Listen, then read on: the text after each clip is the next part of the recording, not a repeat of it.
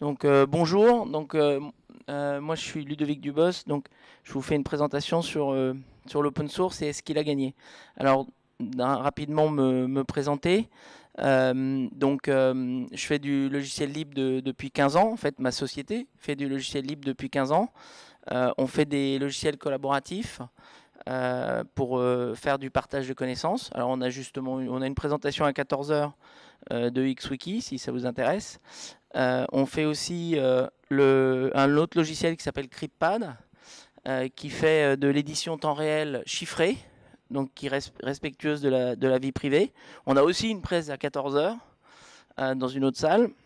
Et si ça vous intéresse, et si vous voulez en savoir plus, on a des, petits flyers pour savoir ce que font nos logiciels. Alors une particularité de l'entreprise XWiki, c'est qu'on est 40 personnes et on, est une société qui est indépendante sans investisseurs et donc qui a, su se développer euh, depuis 15 ans en faisant du, logiciel libre. Et euh, donc euh, ça c'est un sujet qui, m'intéresse, c'est comment on arrive à développer du logiciel libre soutenable et c'est d'où le, sujet de cette conférence. Alors la question que qu'on entend souvent, c'est l'open source a gagné, l'open source est partout. Alors, qu'est-ce que en est vraiment? Alors, d'abord, avant de parler de euh, de, ça, un point qui est important, c'est un peu de définition et, de voir c'est quoi, pourquoi open. source. Alors, déjà, j'ai utilisé le terme open source. Euh, mais il y a aussi le terme logiciel libre et il y a, souvent il des oppositions entre, les deux termes.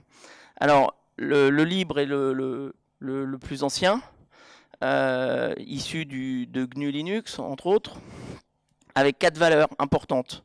Utiliser, avoir la liberté d'utiliser, avoir la, liberté de modifier, avoir la liberté de redistribuer et euh, avoir la liberté de redistribuer les modifications avec une faute de frappe. Euh, donc ça, c'est les quatre valeurs du libre qui font qu'on peut s'échanger du logiciel, et, euh, et derrière euh, le, les améliorer et, et, euh, continuer à les utiliser. Et, et en fait, la notion d'argent dans l'affaire est, est, pas, là. Il n'y a pas de notion d'argent. On ne se pose pas trop la question de, comment on est arrivé à faire tout ça. et en fait, dans le libre, il y a un point qui est important, c'est que les raisons du libre sont pas économiques. Les raisons du libre sont politiques. En fait, c'est que les, personnes qui ont, qui ont établi ces quatre valeurs les ont établies pour des raisons euh, plus de, société, euh, liées au fait que le logiciel est tellement important dans nos vies qu'il est vraiment important qu'il soit libre. Euh, et, et c'est pas donc donc c'est vraiment ces raisons-là qui ont amené à ces quatre à ces quatre valeurs. Mais on s'est pas posé la question de comment on allait arriver à faire ces logiciels euh, dans, euh, dans un monde qui fonctionne euh, fortement sous, sous, les principes économiques. et l'open source, c'est alors c'est issu après quelques années, il y a eu en fait ce qu'on appelle les open source licenses et l'OSI qui a été créé, c'est une association et qui a établi ce que c'était qu'une licence open source. C'est-à-dire quand est-ce qu'une licence de logiciel était open source. Parce qu'au début, on a travaillé surtout avec les licences GNU, et puis finalement, après, il y a eu des tonnes d'autres licences, et la question est de, savoir quand est-ce qu'on pouvait dire qu'une licence était open source. Alors là, on n'est plus sur euh, exactement la même chose, et il y, a, en fait plus de critères, il y a plus de listes, mais on y retrouve les, les cas de valeur. Euh, on y retrouve aussi des choses comme la non-discrimination, c'est-à-dire on ne peut pas dire à, quelqu'un que lui, il n'a pas le droit, euh, parce qu'on t'aime pas, euh, tu n'as pas le droit de, de réutiliser. Euh, en fait, on ne doit pas discriminer les, utilisateurs. Euh, voilà, c'est des choses qui se retrouvent aussi dans les, valeurs du libre. Quand on dit on a la liberté d'utiliser, c'est tout le monde a la liberté d'utiliser, pas, euh, quelqu'un. Par contre, il peut y avoir, il y a tout un tas de licences qui peuvent avoir des, des contraintes particulières. Alors les contraintes, elles sont pas sur le fait que vous n'avez pas le droit d'utiliser, elles sont sur le fait que vous pouvez utiliser, mais en fait, il faut aussi que les autres logiciels que vous avez autour de ces logiciels soient aussi libres, avec les mêmes licences. Et donc, c'est ce qu'on appelle la viralité des licences. Et donc, c'est ce qui a amené aussi, justement, à définir quand est-ce qu'une licence était considérée comme open source. Alors, globalement, on a l'impression que c'est pas très différent. Finalement, on retrouve les, mêmes valeurs, mais finalement, en pratique, ce qu'on voit, c'est que bah, quand les, gens utilisent le terme libre, euh, ben, c'est plus une vision politique et éthique euh, qui ressort derrière. Et, et l'open source, c'est plus utilisé par, pour le business, pour bah, on va faire du code open source et puis ça va fonctionner bien dans le système économique. Alors ça, on va voir que ça peut être important après. Alors, l'open source, donc je reviens au sujet de base, l'open source a-t-il gagné? Alors le, truc c'est que l'open source est partout. Donc on en entend parler euh, tous les jours, euh, tel, euh, tel éditeur de logiciel a mis son logiciel en open source, Android est open source, il est dominant, donc les navigateurs qu'on utilise sont open source, sont des logiciels libres, donc ils sont distribués sur des licences qui respectent tous les critères que j'ai indiqués avant. Et en fait ce qu'on voit c'est que euh, la plupart des briques de base de l'informatique aujourd'hui commencent à être euh, fortement sous forme de logiciels libres et open source. Et, si on regarde la courbe, euh, on n'a jamais eu autant de code libre. Donc ça, c'est un, point qui est important. Euh, une autre chose, c'est qu'on voit qu'il y a des boîtes qui font du libre, qui valent beaucoup d'argent, donc euh, on se dit que ça doit marcher. Red Hat euh, vient de se faire racheter par IBM pour 24 milliards de dollars. On a une boîte comme Elastic qui vient de rentrer en bourse. Mozilla gagne de l'argent. Microsoft a racheté GitHub. Il y, a, des boîtes qui marchent. Donc il y a des succès industriels autour du logiciel libre et de l'open source. après, on, voit que bah, les boîtes qui, qui font du cloud avec de l'open source et des logiciels libres euh, fonctionnent plutôt bien. Euh, une boîte comme OVH, ça marche très bien, ça héberge des tonnes de, ça utilise des tonnes de logiciels libres pour fonctionner et, ça nous fournit du Linux euh, autant qu'on en veut. Les sociétés de services mettent des logiciels libres dans toutes les entreprises. Alors pas que, hein, ils mettent aussi des logiciels propriétaires, mais, ils mettent de plus en plus de logiciels libres dans les entreprises. Et donc, on, voit qu'il y a, une, utilisation massive de, logiciels libres et open source.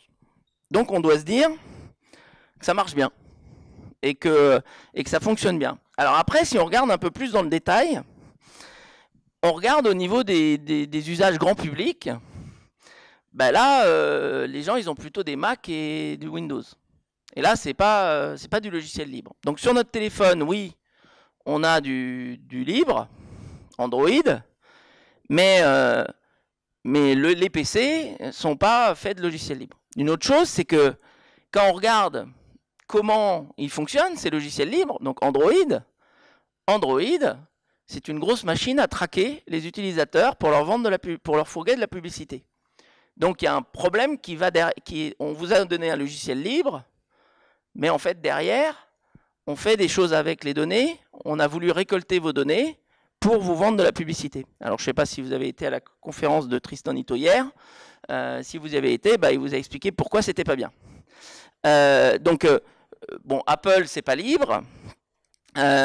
Et, et, quand on veut mettre une application sur les App Store de Google et de et faut quand même faut discuter avec eux et on peut pas mettre tout, tout ce qu'on veut. C'est pas libre. sur les services Internet, bah, les grands fournisseurs de cloud comme Google, Facebook dominent tous les services. Et c'est de nouveau un système de tracking généralisé avec pour objectif de faire de la publicité. Alors tout ça fonctionne avec des logiciels libres, mais on voit des, problèmes derrière, c'est qu'on n'a pas forcément euh, complètement ce qu'il faudrait qu'on ait en tant qu'utilisateur finaux.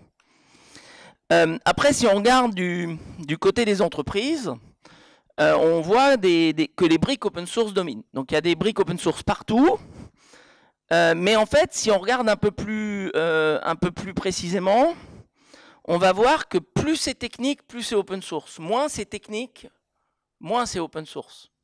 Donc ce que je veux dire par là, c'est que bah, finalement, quand c'est utilisé par OVH, par Amazon Web Services, par des développeurs, la plupart des logiciels sont open source. Quand par contre, c'est utilisé par quelqu'un qui n'y connaît rien à la technologie, on va plutôt lui proposer des logiciels qui ne sont pas open source. Donc on va avoir des entreprises, et en particulier des logiciels sur le cloud. Donc on a quand même une évolution massive du fonctionnement des logiciels d'entreprise sur le fait que la plupart des logiciels venaient s'installer dans les entreprises. Maintenant, on va s'abonner à un logiciel cloud.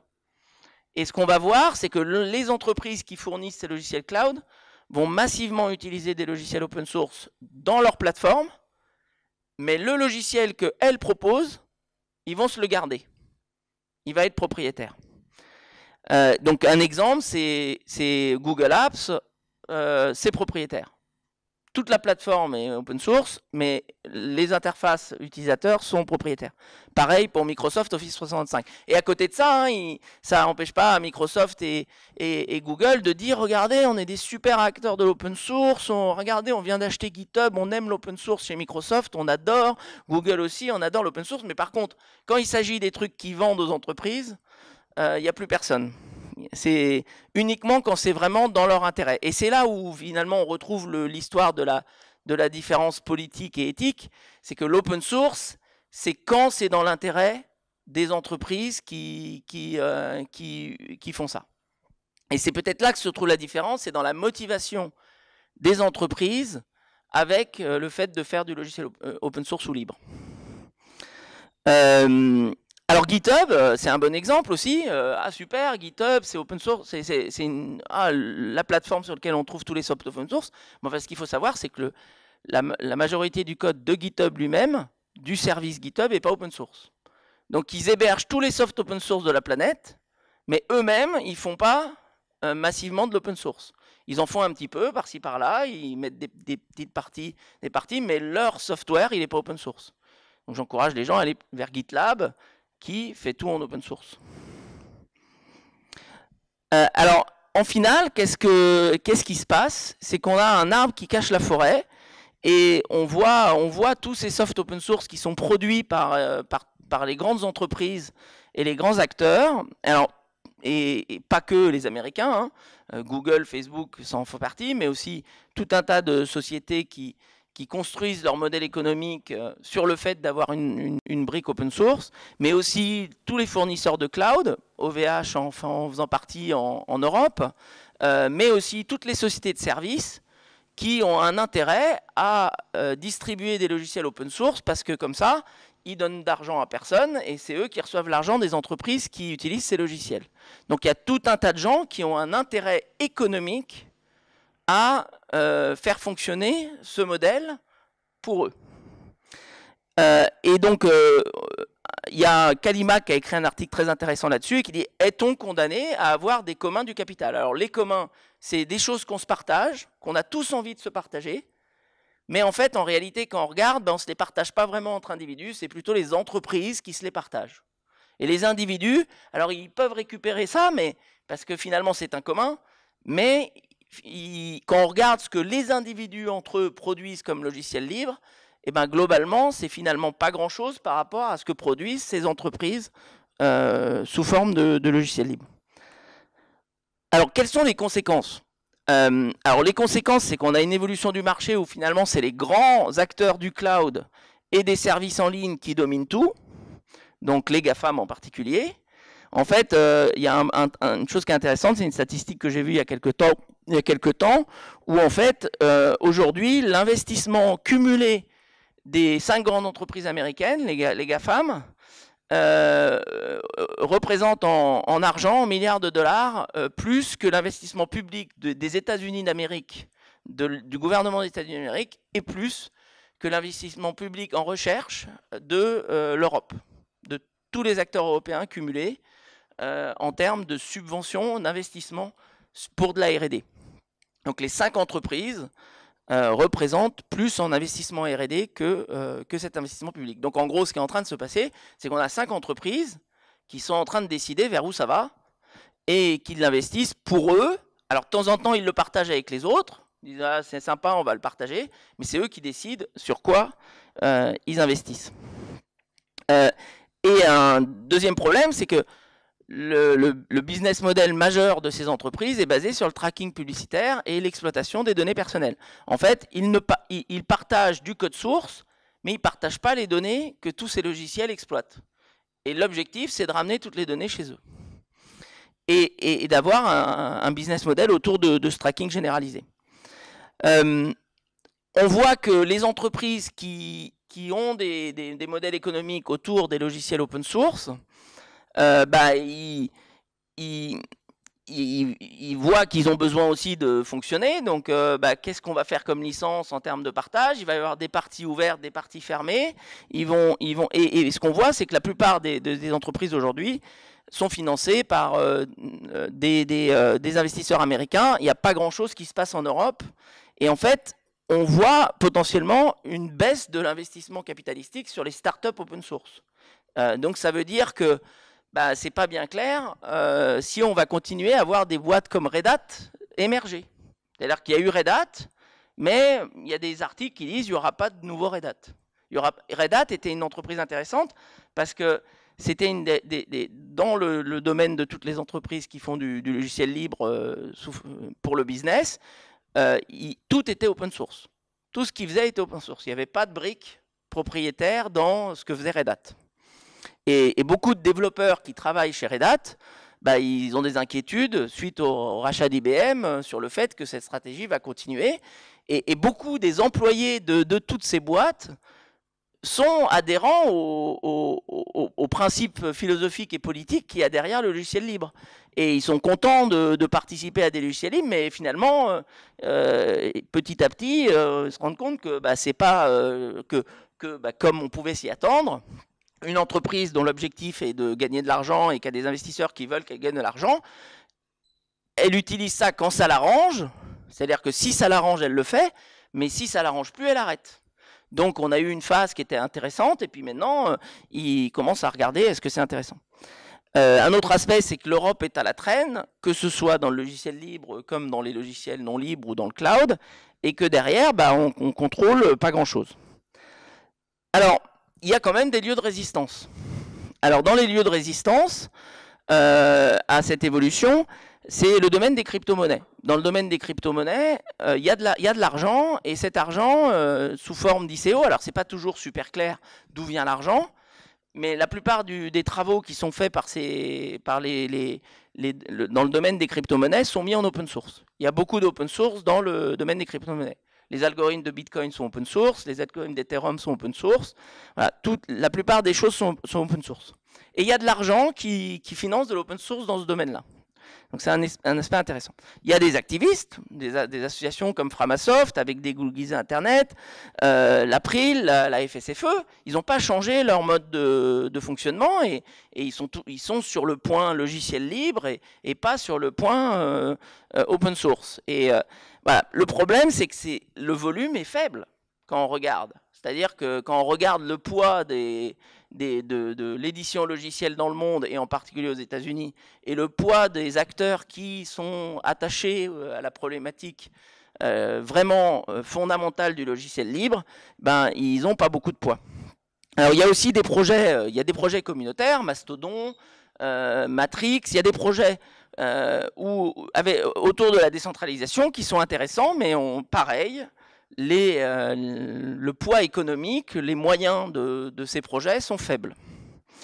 Euh, il y a du financement de la recherche, donc la recherche continue à faire euh, de l'open source. Les financements européens financent beaucoup d'open source et, ça, contribue à, participer à la base de code open source et ça c'est très positif. Il y a aussi des PME qui produisent du livre, donc nous on en est une. la, la société qui a présenté juste avant, elle produit aussi du livre. Et il y a plein de petites sociétés, pas très grandes, qui arrivent à, euh, faire fonctionner leur, euh, leur modèle. Elles, font du code libre, ça leur offre des avantages.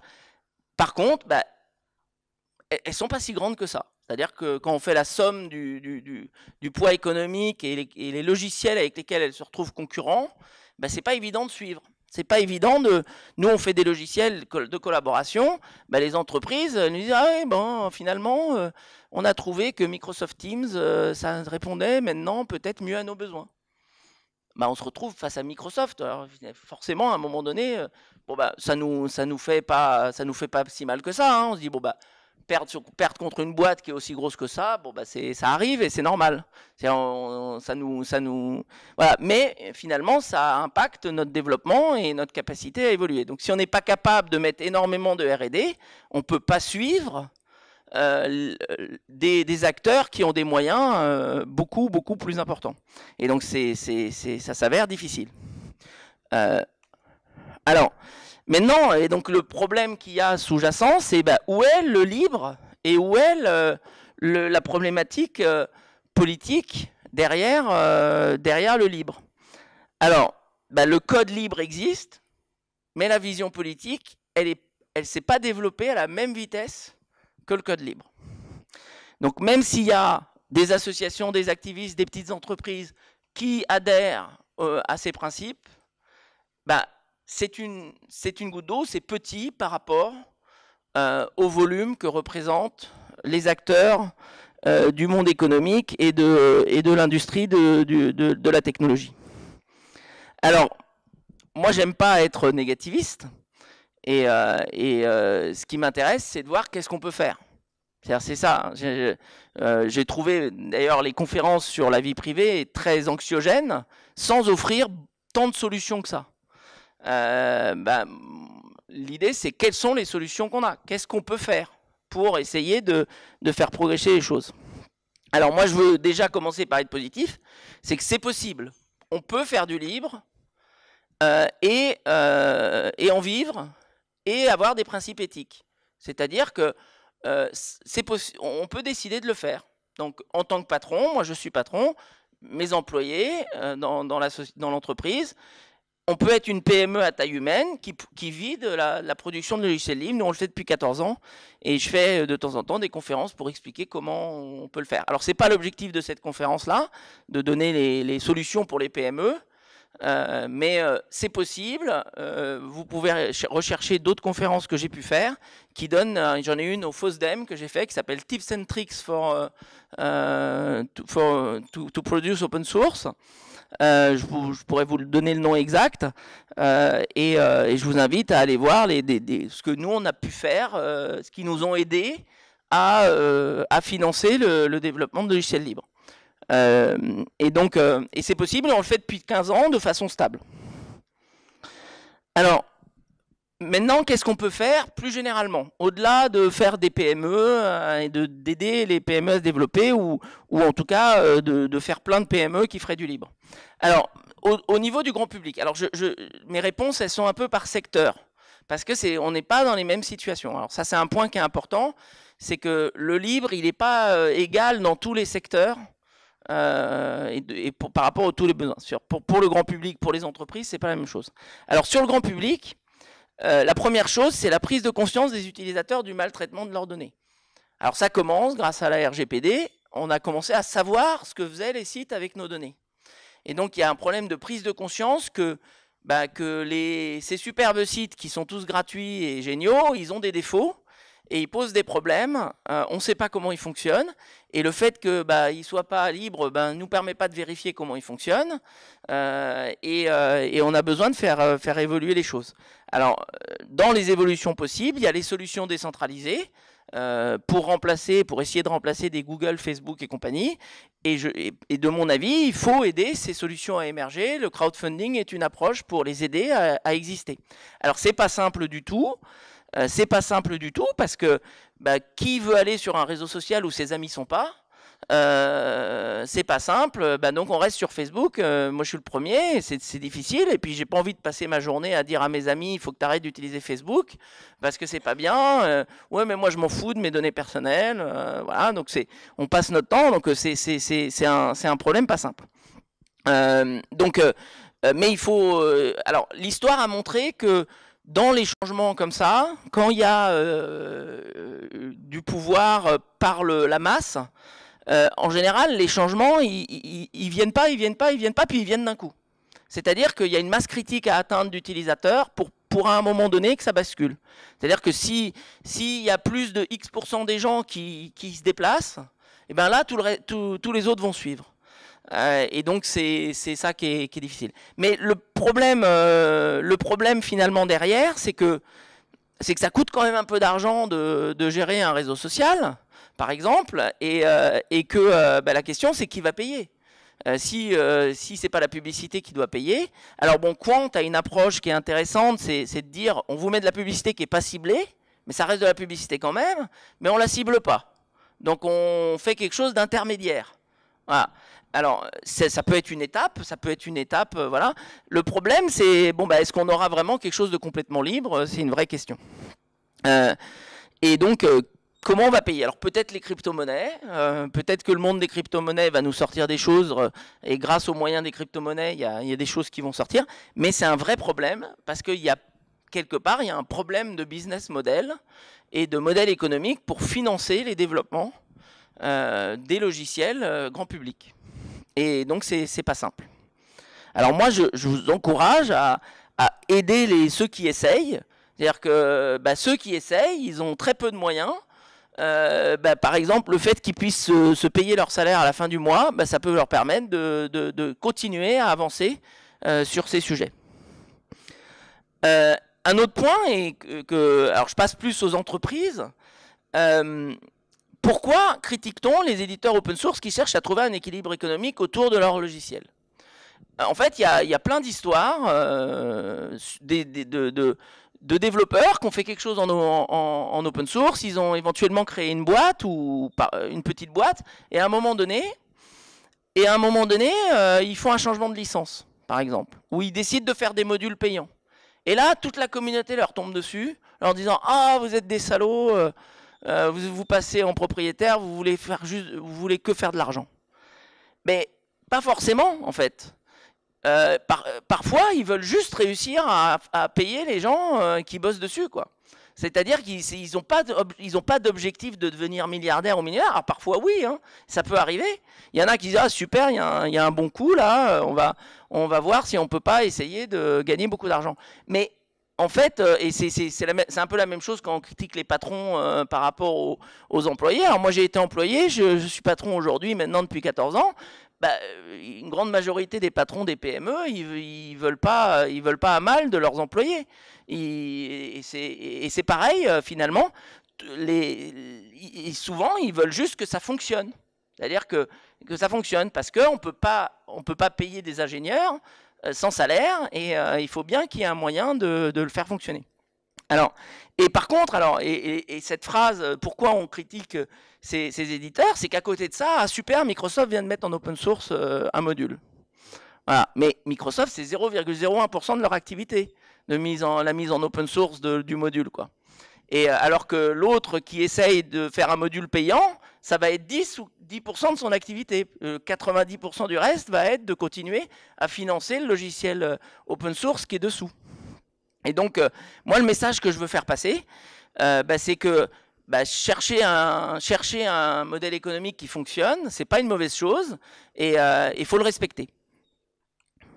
et donc, un peu de la même manière, il y a le, en fait, le libris du soir et l'open sourceur la journée. Donc, en fait, le libris du soir, c'est celui qui travaille dans une entreprise la journée et qui, le soir, va contribuer au logiciel libre.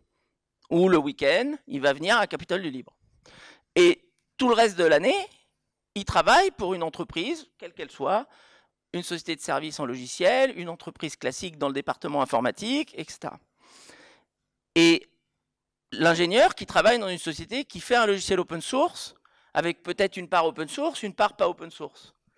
Mais il n'y a pas, en fait, il n'y a même pas, il faut pas se poser la question, on peut faire les deux. On peut, on peut faire les deux et les deux sont bien. C'est-à-dire que finalement, celui qui contribue le soir, c'est très bien, et celui qui, qui bosse la journée dans une société qui ferait un mix, c'est bien aussi. Et alors, et ça, c'est un message qui est passé dans une conf euh, euh, ailleurs, et moi, c'est une des raisons pourquoi je fais de l'open source. C'est exactement pour cette raison. Le message, c'est on est dans un métier où le chômage est négatif, l'informatique. Donc, les informaticiens ont le choix. Ben, vous avez une responsabilité de bien choisir ce sur quoi vous bossez. Si votre entreprise, euh, elle répond pas à, votre éthique, si euh, le, métier qu'elle fait il n'est pas bon, bah, vous pouvez changer de métier pour, euh, aller contribuer à quelque chose qui vous plaît mieux.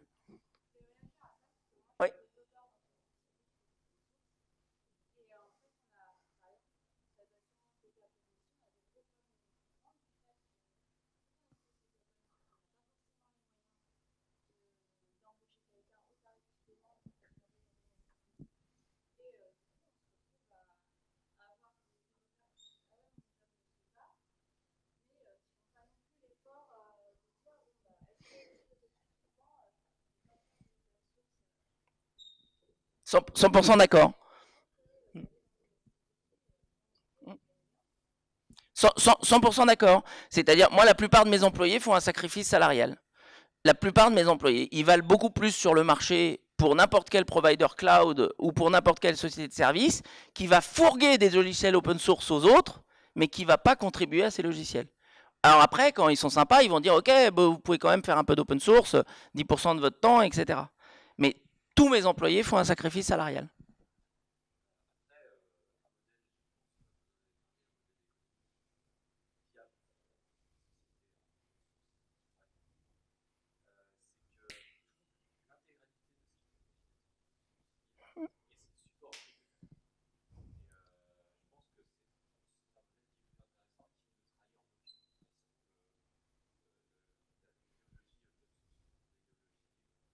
Mais c'est ce qu'on fait.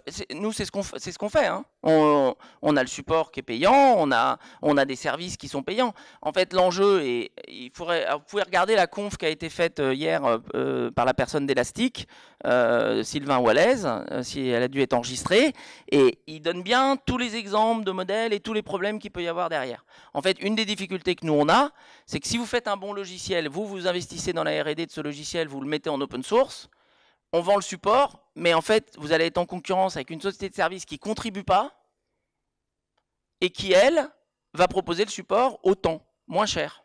Et vous ne pourrez pas financer votre R&D avec ça. C'est ça la difficulté. Alors, je dis, en concurrence, ça ne veut pas dire que ça ne marche pas. On a aussi des avantages. Et c'est pour ça que je dis que c'est possible d'être une PME qui fait du logiciel libre, et on y arrive. Mais, mais quelque part, il y a un truc qui est, difficile, quoi. Il y a, un, truc qui fait que c'est pas simple. Et c'est le problème, c'est le problème des, des, des freeriders. Les freeriders, c'est ceux qui profitent du truc, qui participent pas. Et ben, dans les freeriders, il y a toutes les sociétés de services qui contribuent pas du tout ou très très peu relatifs à leur business, à leur, euh, chiffre d'affaires, qui contribuent très très peu au logiciel libre qu'elles exploitent et qu'elles utilisent pour les entreprises. Alors elles servent quand même au domaine du logiciel libre, hein, je ne veux pas être complètement négatif, elles les font connaître.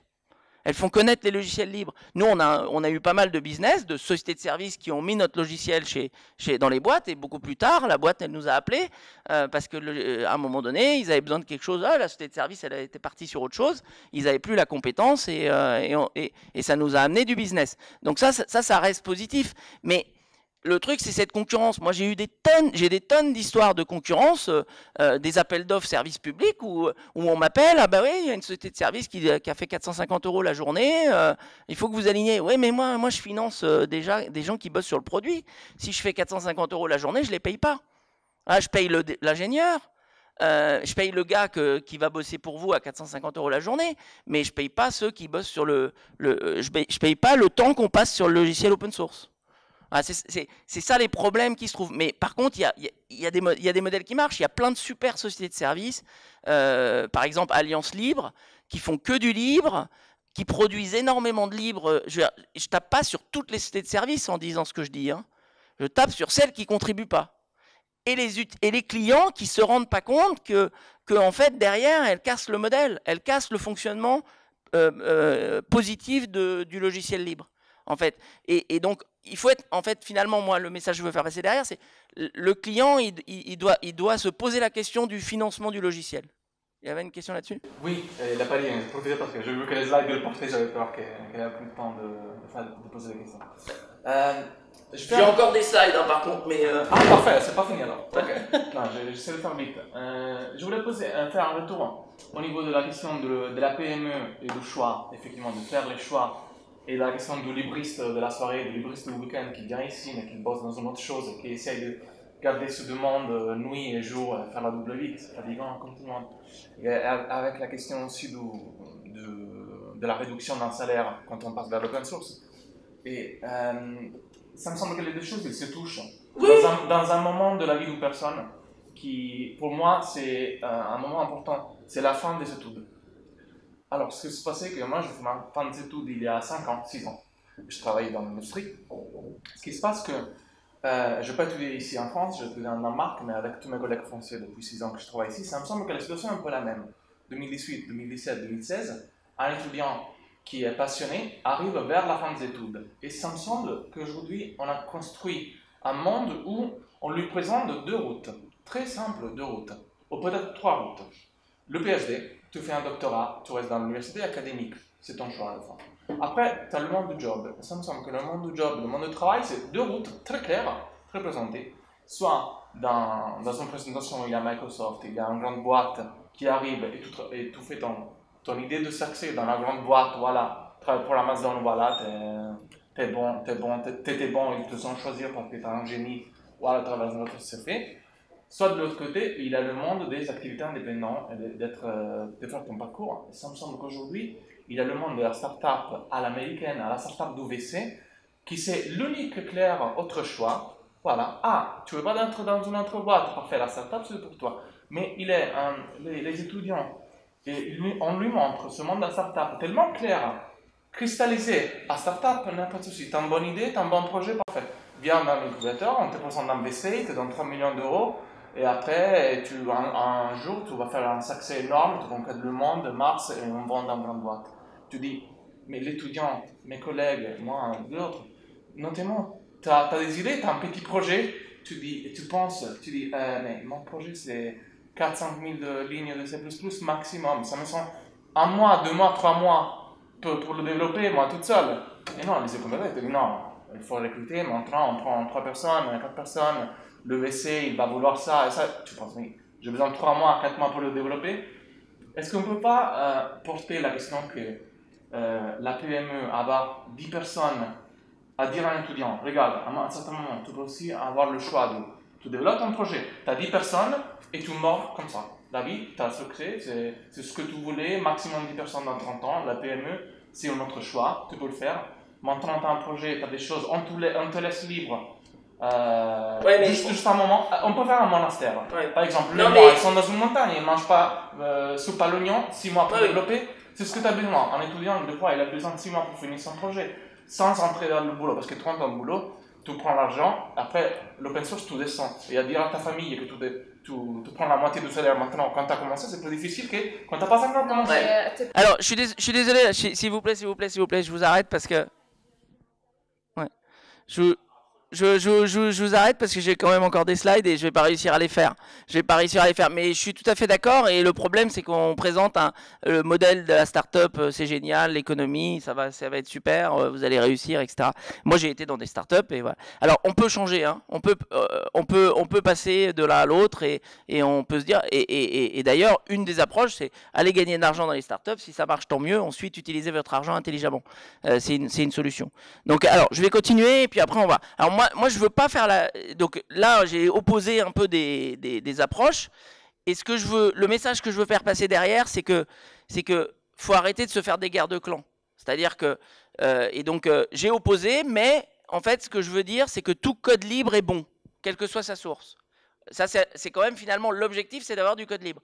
Un des objectifs, c'est d'avoir du code libre. Donc déjà, tout code libre est bon. Et qu'il soit d'une société euh, qui a un but lucratif, que ce soit d'une assoce, euh, que ce soit d'un indépendant, tout ça finalement c'est positif et c'est une opportunité pour, euh, pour ceux qui ont la volonté que le, que, que le, logiciel soit libre et qu'il puisse émanciper l'utilisateur. Ça résout pas tout. Et donc il faut, faut, éviter un peu les guerres de clans et il y a, y a, des alliances qui sont possibles. Donc les services publics ont, ont, des intérêts forts à faire du logiciel libre parce que ça va leur coûter moins cher que d'acheter tout parce qu'ils ont des tels volumes de besoins que finalement ils ont intérêt à, que ça soit du libre.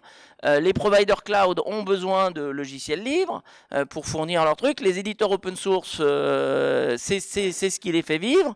les acteurs de la crypto, la recherche, tous ces acteurs ont quand même besoin de logiciels libres. Et donc le, truc, c'est que finalement, faut, faut, faut essayer de d'arrêter d'opposer. Moi, j'essaie.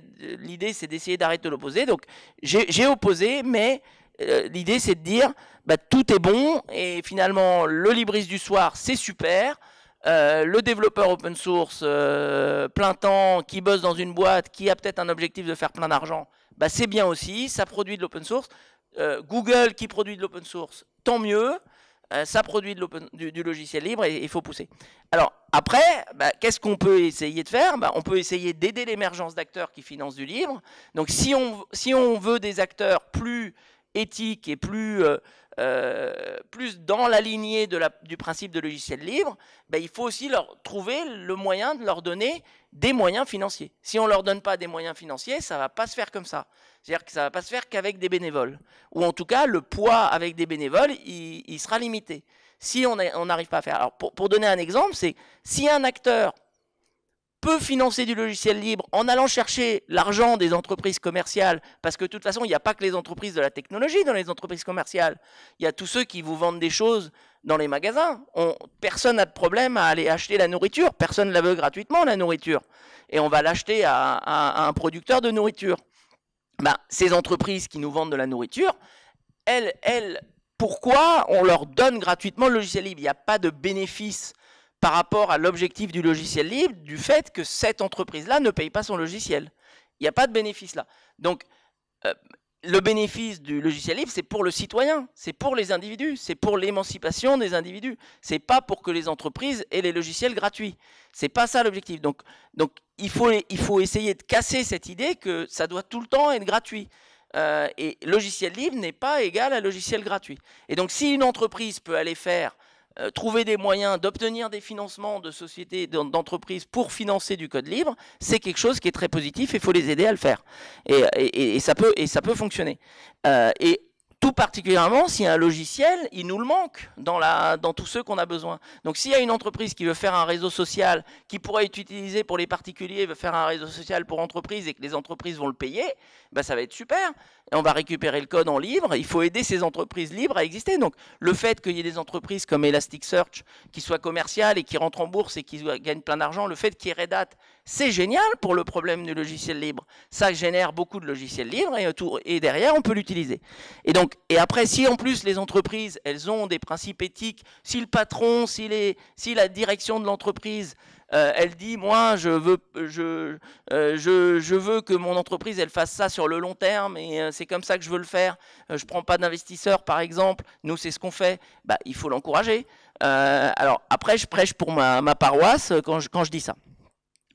et ça amène le sujet des, licences plus agressives. Dans le, domaine du logiciel libre, on discute beaucoup des licences. Ben, est-ce que c'est bien, pas bien d'avoir Est-ce qu'il faut une licence complètement libre?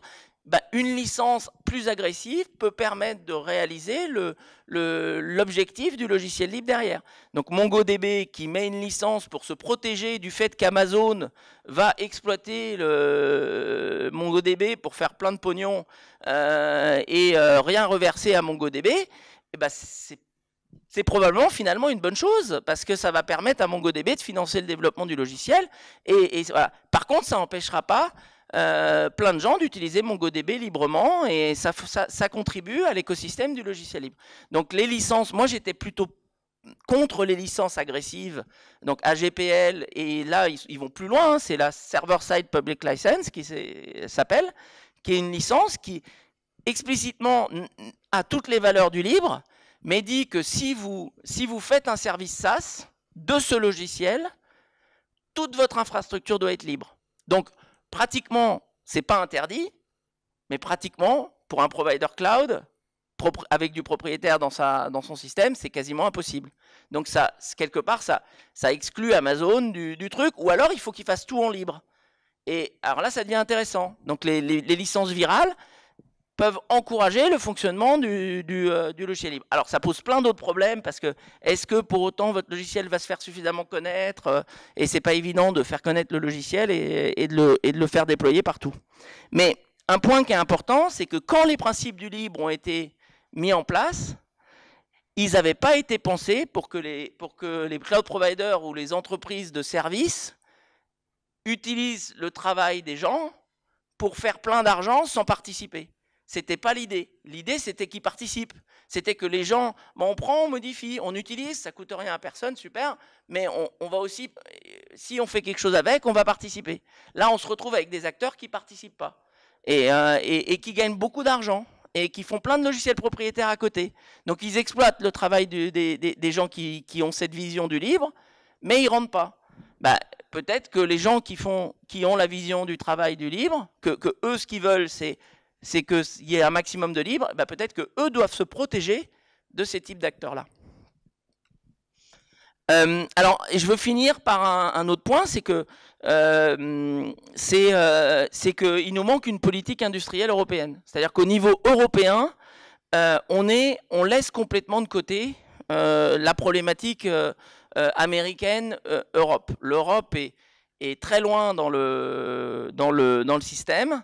Et toutes les entreprises sont massivement américaines et, un acteur, par exemple, comme OVH dans le cloud, il fait pas le poids, il n'a pas de logiciel. Et, en fait, on, a une problématique de financement. Et moi, j'y vois une opportunité intéressante. L'opportunité intéressante, c'est le fait que les services publics, c'est vraiment important pour eux que ça soit libre. Parce qu'ils ne peuvent pas se rendre dépendants comme ça d'acteurs américains. C'est pas possible. Il y a un problème. Euh, alors ils le font hein, euh, plein de fois parce qu'ils trouvent pas d'autres solutions. Dire, quand l'éducation nationale, c'est exactement ce que disait Tristan Nito hier à la table ronde. Bah, j'aimerais pas être à la place de, l'éducation nationale parce que euh, ils n'arrivent pas à trouver de logiciels et puis les autres ils leur disent ah ouais, je vous donne mes logiciels gratuits.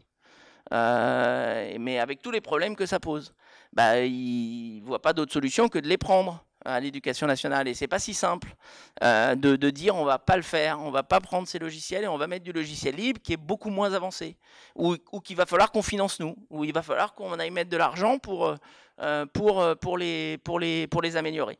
Alors, les services publics, quand on regarde au niveau global, au niveau européen, ils ont un besoin massif de logiciels libres. Le problème, c'est qu'on fait tout dans notre coin. Les Allemands euh, euh, travaillent avec des sociétés allemandes, les Français avec des sociétés françaises, chacun fait son truc dans son coin, on fait des petits acteurs, et à la fin, quand ils commencent à marcher, hop, les Américains, ils arrivent, ils bouffent tout.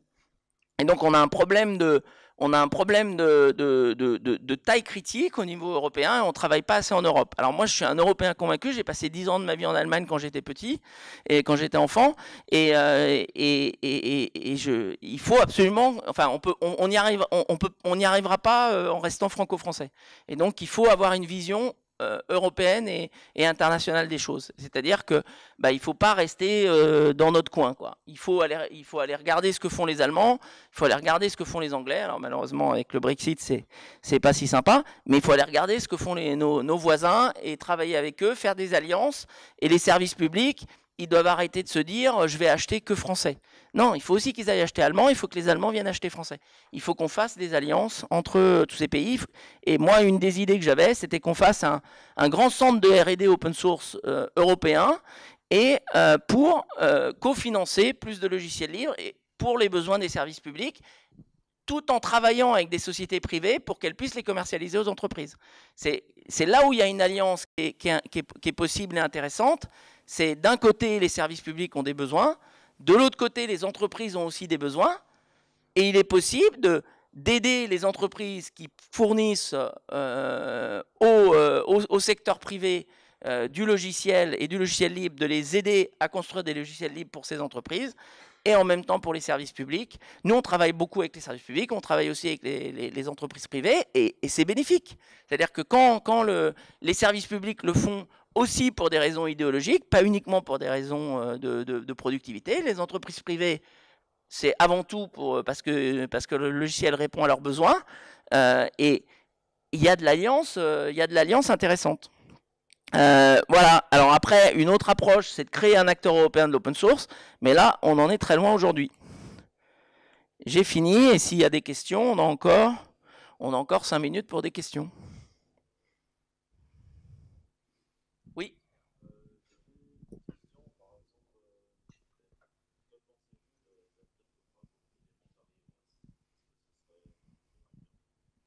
Je connais pas bien, je, ne voudrais pas dire de bêtises, donc euh, je peux pas, je peux pas, je peux pas répondre. Euh, donc je, je connais pas, je connais pas assez pour répondre à cette question. Là, en fait, c'était demander qu'est-ce que je pense d'Elementary OS. Est-ce que c'est un freerider?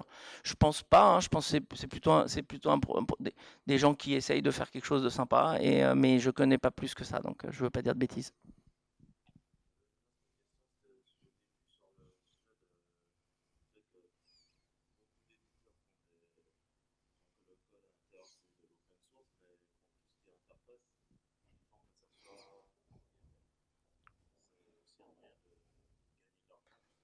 Oui, alors beaucoup d'éditeurs euh, font euh, la partie qui est sous-jacente en, logiciel libre et l'interface en propriétaire.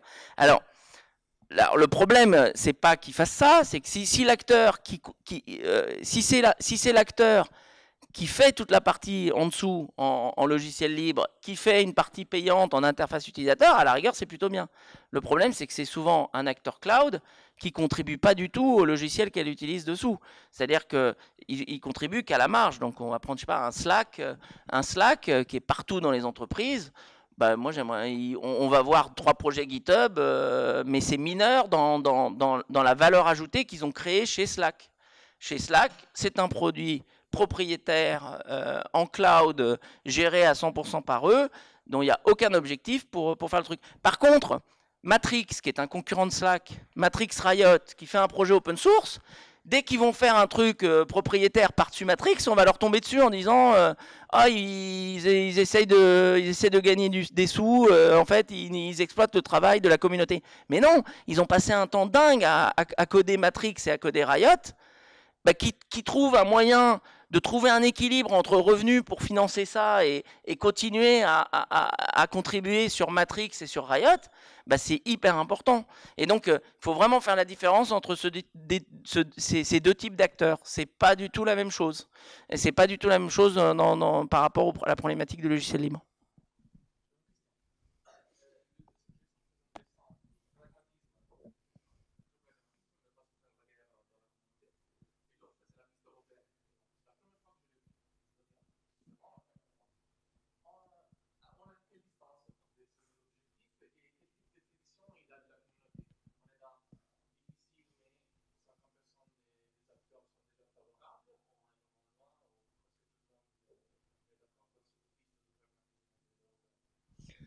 Euh, en fait, alors moi quand je parle aux gens euh, au niveau européen, euh, tout, le monde dit ah oui, c'est vrai, il y a un problème.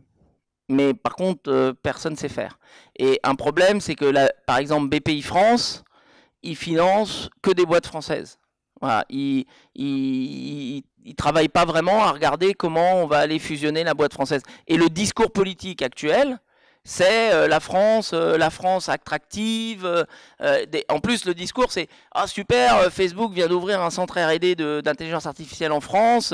voilà, c'est catastrophique c'est absolument catastrophique de, laisser d'aider Facebook ou d'encourager Facebook à venir ouvrir un centre d'intelligence artificielle en France. On est en train de leur donner nos ingénieurs.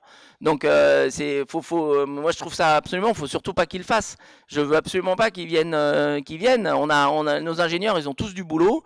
Ils n'ont pas besoin d'aller trouver un boulot chez Facebook. On leur donne un, c'est comme si on leur donne un billet d'avion pour partir en Silicon Valley. Donc c'est absolument catastrophique. Et pour l'Europe, le problème c'est qu'on, c'est que ah bah c'est à celui qui on veut être plus fort. les Allemands sont trop forts, alors il faut se renforcer économiquement pour être plus fort. Et, et on travaille pas. Donc on a le problème le dilemme du prisonnier hein, en, sciences économiques, c'est que finalement, bah, personne et personne. Donc, moi, je pense qu'on en est loin. Par contre, ce qui est bien, c'est les financements européens de la communauté européenne, les programmes Erasmus, tout ça c'est génial. Ce que fait la communauté européenne, c'est super. Ça rapproche les, Européens, mais c'est très difficile. Moi j'ai passé 10 ans en Allemagne. Je comprends l'allemand, je ne le parle pas beaucoup parce que je ne le pratique pas, mais je peux parler allemand mais c'est super dur euh, de, de, de, bosser. Moi, j'ai la moitié de mon entreprise en Roumanie. Alors, donc, euh, voilà, ça, c'est positif et c'est vachement bien. Euh, on est super content de, faire ça, ça nous rapproche, on est beaucoup plus européens. Mais c'est difficile d'aller travailler en Allemagne. C'est très difficile d'aller faire du, du, business en Allemagne et c'est pareil pour les Allemands. Le problème, c'est que chacun a des petites boîtes et, et c'est très très difficile. Euh, de, rapprocher des petites boîtes euh, et, faire ce, que, ce qui a été fait pour Airbus, euh, c'est beaucoup plus compliqué parce que Airbus, c'était un pur problème politique. Des entreprises quasiment toutes contrôlées par l'État que, les États ont décidé de mettre ensemble. donc c'était vraiment un accord politique entre la France, l'Allemagne et, l'Italie et, un peu l'Angleterre. Et par contre, dans l'informatique, c'est tout un tas de PME et, un État, un État qui ne connaît rien. Donc c'est ça le problème. On n'a plus qu'une minute.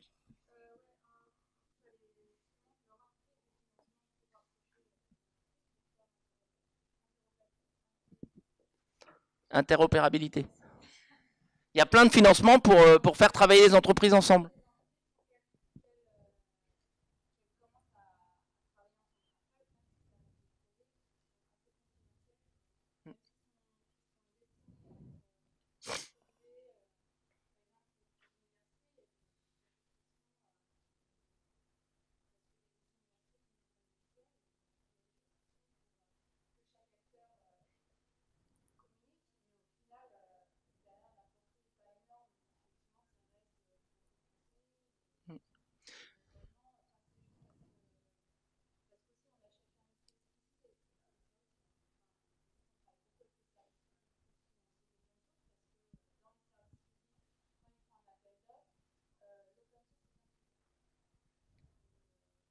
Les services publics, c'est quelque chose d'important pour eux.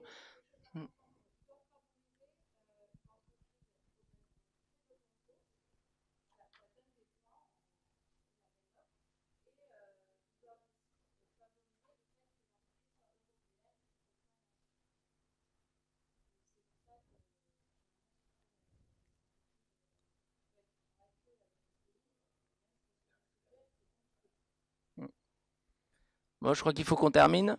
Ben, merci beaucoup en tout cas, euh, et les échanges étaient très intéressants. À bientôt.